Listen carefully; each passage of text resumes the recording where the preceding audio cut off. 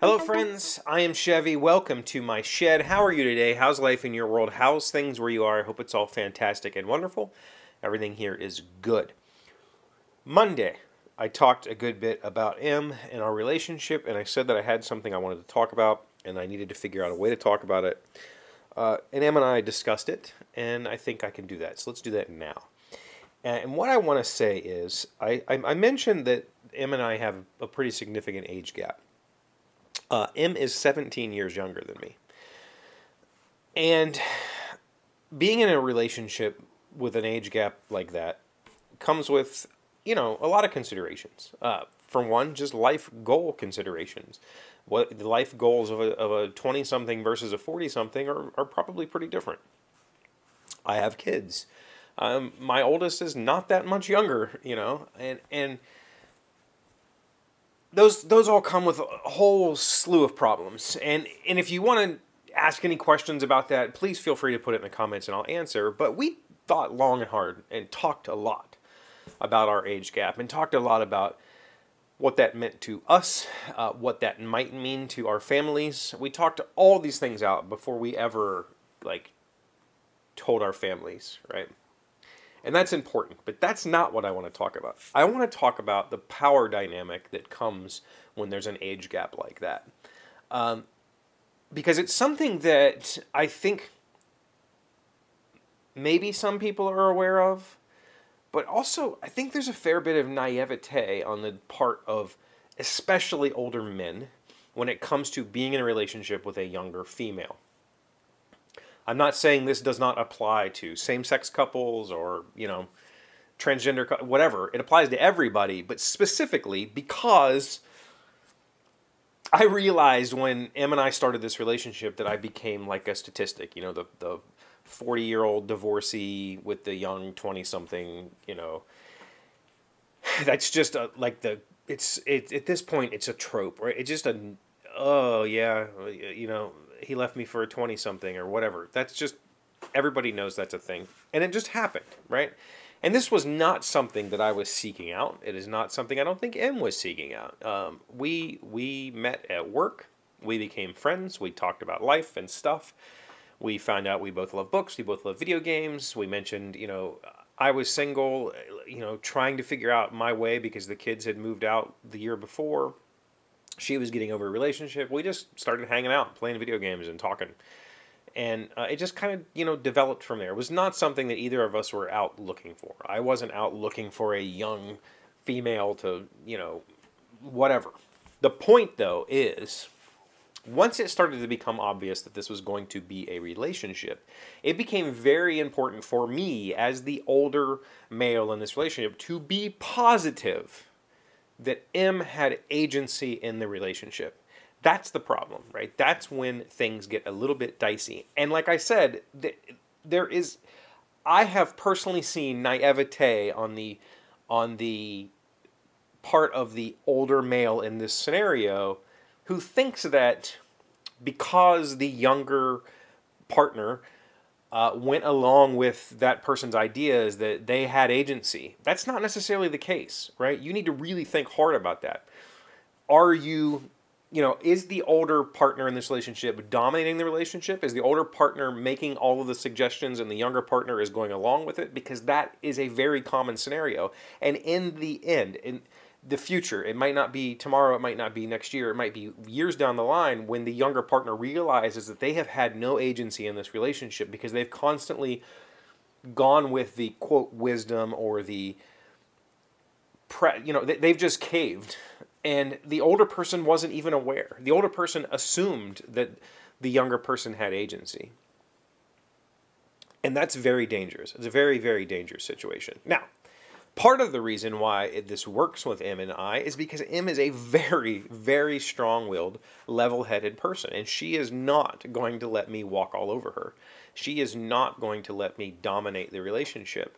And I made sure we had that talk. We've had this same talk years ago, uh, and then we just had it the other night when we were on our date night, and I, you know, she said she was excited to hear what I had to say, and I was like, I don't. It's not really about you. It's just about this age gap because this is a concern. I have seen in the board game industry a lot of these relationships where older male finds younger female and the power balance there is way out because the younger female is trying to make it in the industry. The older male is already established. There's that's already a problem. It's already like i don't want to say a subordinate issue but it kind of is you know? And it can cause a whole lot of problems. And it's something that you know regardless of whether you think you're in a dominating relationship like that, if you're the dominator or the dominatee, regardless of whether you feel like you guys work great together, you need to have that talk because you might be blindsided. You might realize that you are, you know, you're not, you don't have, uh, you have dominated or you are being dominated by an older person. And that's a problem. Um, I think that's something that I think a lot about with my children. My children are, are now seeing this this dynamic. They're seeing me as the older dad dating this young uh, this younger person, and I think they get to see. Uh, I try really hard for them to see that I am not quote in control, right? That when we make decisions, when Em and I make decisions, Em and I are making those decisions together both of our inputs are valid. And I make sure my children see that because, you know, they're both young. They're going to be in these types of situations in the future. Probably not this big of a gap, but, you know, I, I don't know where they're going to be, right? And I want them to understand that regardless, even without the age gap, this is just basic, like, relationship stuff, right? This is basic, just decency when it comes to being in a relationship with somebody is making sure that that person has agency in the relationship, making sure that person has agency in their own life, making sure you're not taking things away from them uh, because of the relationship. Granted, everybody has to give up something to be a part of a relationship like that. You know, I had to give up some of my autonomy, so did Em, so that we could start to be a little bit more of a of a a team. Um, but that's normal it's not normal when you're giving up more of yourself uh, because that can be a little bit weird. But you know, I think the the age gap thing is um, it's challenging. It really is. Uh, we've had to have a lot of those conversations with family and friends. We've had to have um, a lot of those conversations with ourselves. Like I said earlier, we we really talked all this out and made sure that we were both on board with it. Um, you know, we have some examples in our lives of of age gap relationships. My sister is 14 years younger than her husband. Um, Em has some family that are 12 or 13 years apart. Uh, so it it's not as uncommon as you think. Um, but it it you know it, it's still a challenge. It's still very much a challenge. Um, and the cool part is, I've really enjoyed going through this challenge with her. I've really enjoyed being a part of it.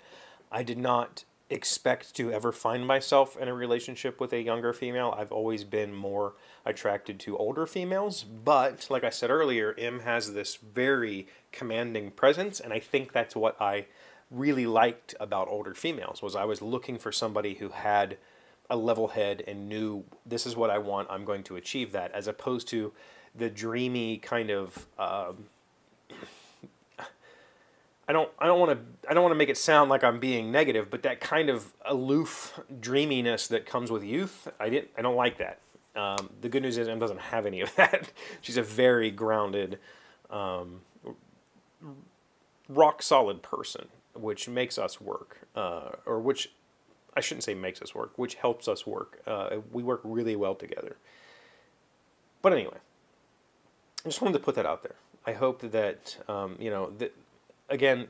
If you ha- if you didn't know, the reason the show exists is is, is a form of a a diary of dad for my children someday to be able to look at it and go, this is all my dad's thoughts. And one day they might stumble across this. You know, I don't think they watch all my videos, but hopefully there's some advice because um, regardless of the age gap. Maintaining agency is very important for any relationship.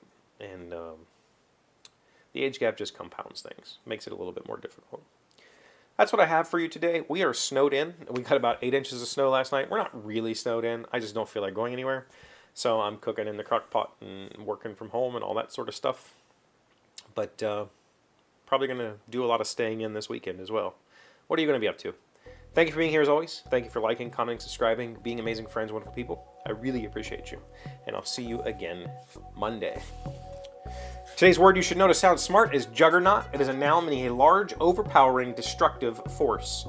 Once he begun arguing about the superiority of Maseratis, Jefferson becomes a juggernaut capable of deflating anyone else's arguments. Juggernaut. J U G G E R N A U T. Not just a comic book character. Uh, it's a good word, though.